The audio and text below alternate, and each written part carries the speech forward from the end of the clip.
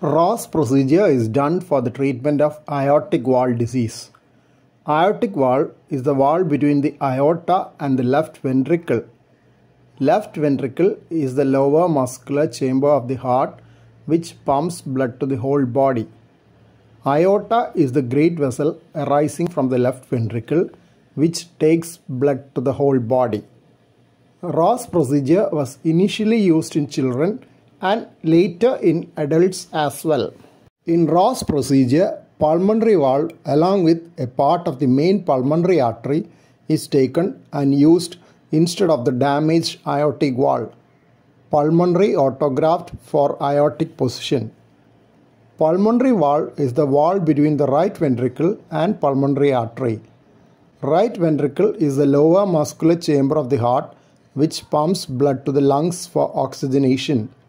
Pulmonary artery takes this blood to the lungs.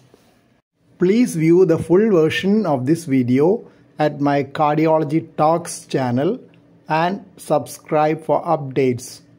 Useful for early career medicos and paramedics. Link given below this video.